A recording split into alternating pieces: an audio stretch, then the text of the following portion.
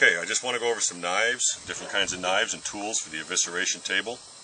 Uh, we're actually going to try some different, uh, a couple of different styles of knives today to see how they react to the fat. All of our knife manufacturers actually design and develop the handles to react to the fat of the animal that's being processed, whether it be beef, lamb, uh, goats, or in this particular case, poultry. So we're going to try some different knives and see how uh, they do, and then we'll have these reports on our website as far as comfortability. The other thing to consider in choosing a knife would be the length of the blade. All of these are relatively short.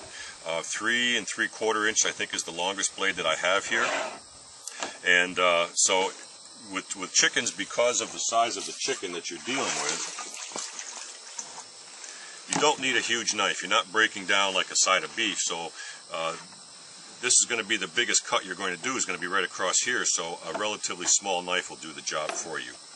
The other uh, two tools that are on this knife is a pinning knife, or on this table rather, is a pinning knife and a lung remover. And these two, I think, are invaluable. Uh, you don't use them all the time, but when you need them, they're just great. The pinning knife is used like this. You just simply pinch the, the, the feather between your thumb and pull and it just pops those feathers out. Um, it's easier than using tweezers and pliers and all those other gadgets that, that we use. So you can just pop those pin feathers right out of there and uh, don't have to fight with them. You can also use it if you do get a bird that's got a lot of feathers in this area, you can scrape it such as that to get those feathers out. So this one really, again, doesn't have a whole lot to do. So let's go through eviscerating here. Um, I'm going to start with, this is a Dexter Russell 2613 knife. It's a good size handle for a guy my size. I'm six foot two, got big hands. It fits my hand quite nice. Um, it is a little bit small as far as the diameter goes, if you will, than something along that line, which is for a big hand, um, seems to fit a little bit easier. So we'll start off with this knife, see how this does. First thing we want to do is take the legs off and get rid of the legs.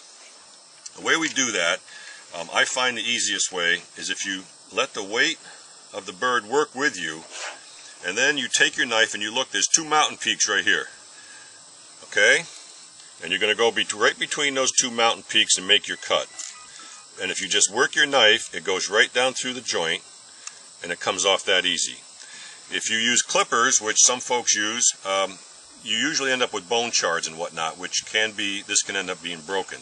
So if you allow the knife to do the work, again, there's the two mountain peaks, go right down in between the valley and just cut. So that would be gone.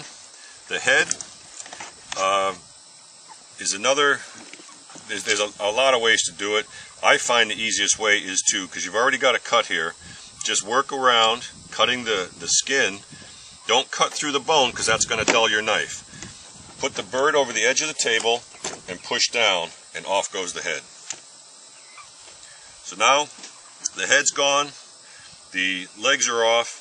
The next part we're going to get is the crop. The crop is always on this side, would be the left side as the bird is, is upside down, on the right side if it was on its feet. The crop is right in this area. This is the initial, the esophagus is here, the feed goes into the crop, from the crop it goes into the gizzard. So this oftentimes has feed in it if you don't take the feed away 12 hours before, you will end up with, um, with feed in there. So you just make a small cut. Now, if I cut into the crop, and that's not a big deal, but if you just make that small cut, begin to peel this crop away.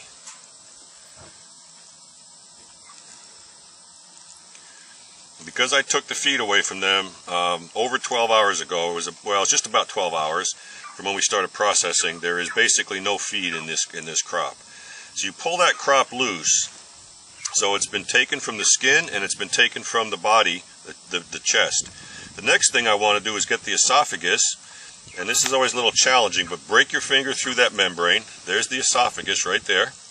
Pull that out. Take, go back through, and you want to take the windpipe out. And there's the windpipe. Windpipe, I always, my grandfather taught me the windpipe's like a flashlight. It's got those ridges on it, feels like a flashlight. So those are the three things you want. The windpipe, the esophagus, and the crop. Once you get those pulled loose, peel them away a little bit, shake it loose, just let those hang. The next step is to go around the back of the bird, Uh, there's two things. Some people like to remove this fat gland. If, if you want to remove the fat gland, simply make a U-shaped cut with your knife and take it off like that. Um, there are those that say that the fat gland should come off because it causes a taste in the meat. There are those that say it adds flavor to the meat. So that's a personal preference. Uh, it is an extra step. It is a little bit more unsightly without it, uh, but it's just personal preference if you want that on or off. The next part, flip the bird back over, put pressure on so your skin is tight. A sharp knife will always cut something that's, that's uh, stretched tight as opposed to something that's loose. Make a cut in, in this area. Now, a big hand guy like me, I've got to make a bigger cut. Smaller hand, obviously a smaller cut. Start to work your fingers into this area, breaking loose the viscera from uh, the from everything else that's in the bird, um, and you, you, you're breaking the viscera down off the top of the body cavity. Work your hand into the body cavity as far as you can go, breaking loose all of the membrane. Put your fingers around the viscera and pull back and out towards you onto the table. Now, right there is the crop coming through, and right behind it is the windpipe coming through. So if you loosen those properly, they will come out with, with the gut pile. At this point, what I do is take a and make a U-shaped cut, and we do have some manure on this, so we're going to uh, just pause for a moment and get that manure cleaned off. Alright, so this is the downside of, of gutting on a table. We got some manure on on the bird. I don't think it was on the table, but had it been on the table, then I slide, I slid this bird into the manure, we would now have contamination. Uh, there is some still some manure in the gut, and uh, we're going to do our best to get that off and away from the table. There goes a knife that's now been dropped onto the ground.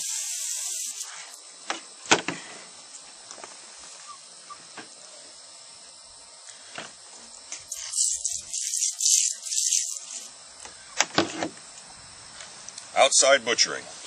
So I'm going to make a U-shaped cut, cut below the vent and come up, cut below the vent and come up the other side.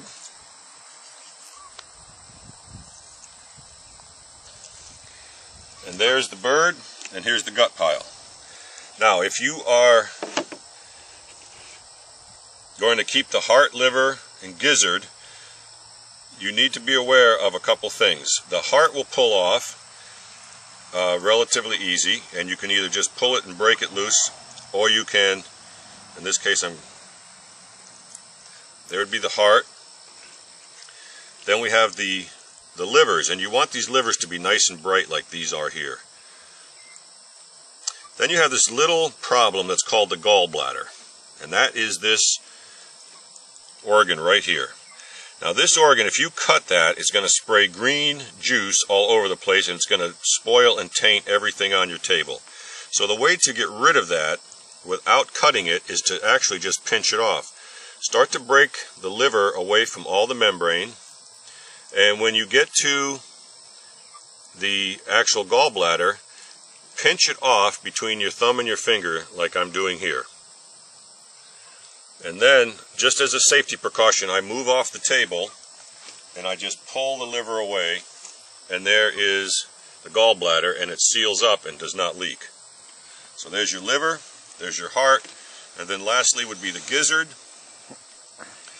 And the gizzard, you just simply peel away anything that doesn't look like a gizzard. Like that. There is your gut pile. This goes into the gut bucket uh, and then you you would chill these down. Now while I'm right here, I'll also go over quickly um, peeling a gizzard.